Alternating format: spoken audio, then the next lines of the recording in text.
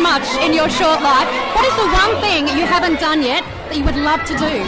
Well, there's so many things. What's one?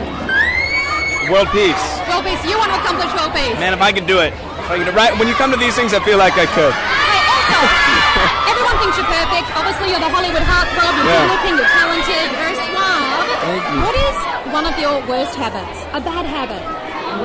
I don't know. I've got loads. I just everything your typical guy does.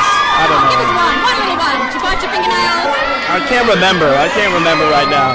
My mom will be happy if I don't say anything right Okay, now. and you're loving your time in Australia? Loving it always. Awesome. Well, thank you so much for chatting to us at Light. Thank you.